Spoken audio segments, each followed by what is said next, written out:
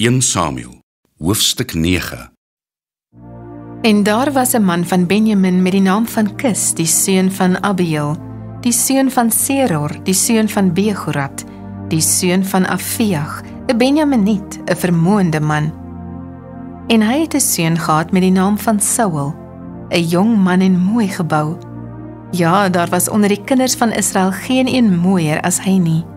Van sy skouers af boontoe was hy hoër as die hele volk. En toe die eselinne van Kis, die vader van Saul, weggeraak het, sê Kis aan sy seun Saul: "Neem tog een van die dienaars met jou saam en maak jou klaar. Gaan soek die esels."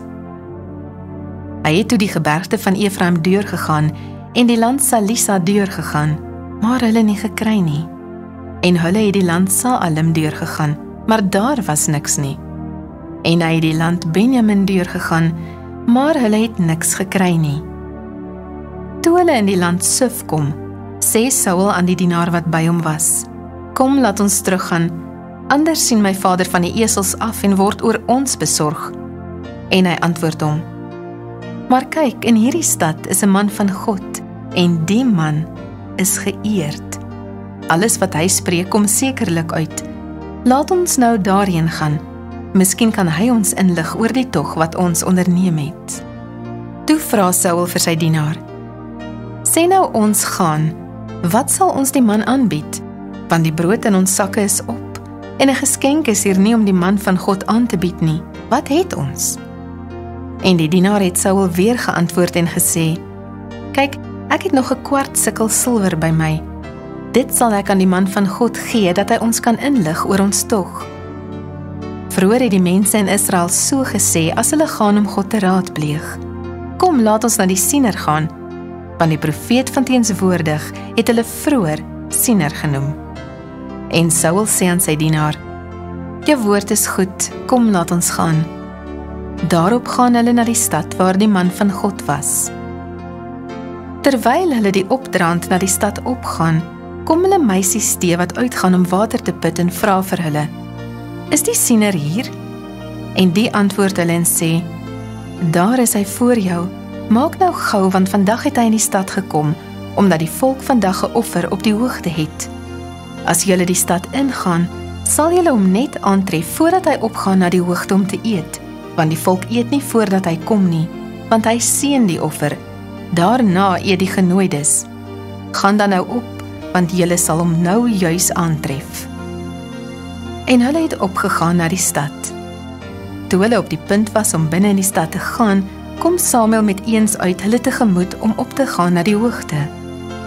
Want die Here het dit eendag voor die koms van Saul aan Samuel geopenbaar en gesê: Môre sulke tyd sal ek 'n man uit die land Benjamin na jou stuur wat jy moet salf as 'n vors oor my volk Israel en hy sal my volk verlos uit die hand van die Filistyne want ek het my volk aangesien omdat sy geroep na my gekom het.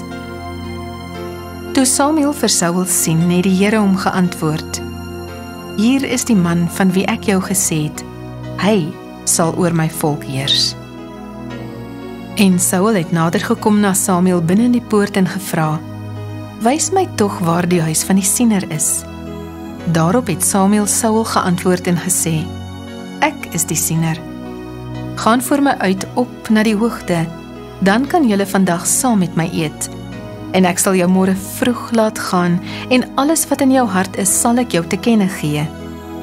En wat die esels betref wat jy vandag al 3 dae gelede vermis het, bekommer jou daar nie oor nie, want hulle is gevind.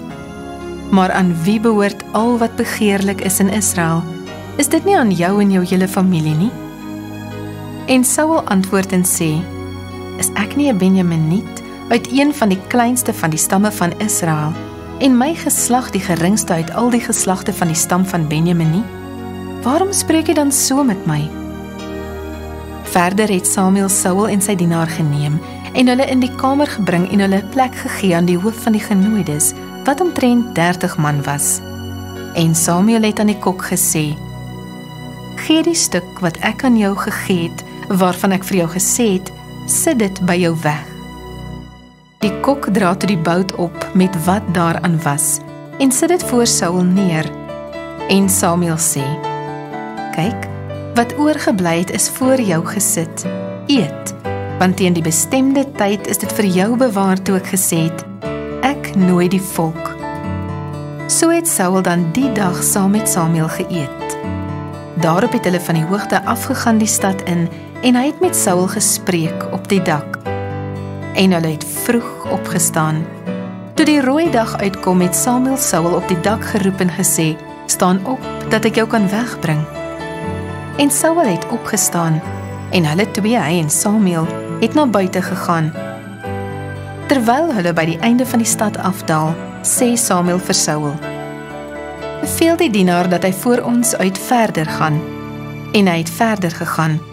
"Maar staan jy eers stil dat ek jou die woord van God kan laat hoor."